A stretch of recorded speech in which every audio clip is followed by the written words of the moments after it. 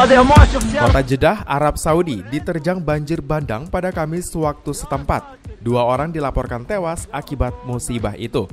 Sebuah video amatir memperlihatkan sejumlah jalan tergenang air hingga menyerupai sungai akibat banjir bandang. Akibat banjir tersebut, akses jalan dari kota Jeddah menuju Mekah yang biasa digunakan para jamaah haji sempat ditutup. Akses tersebut belakangan kembali dibuka usai situasi dinilai aman. Sejumlah penerbangan di Bandara Internasional King Abdul Aziz ditunda dan sekolah-sekolah diliburkan akibat banjir bandang karena hujan lebat. Tercatat dua orang meninggal akibat insiden ini.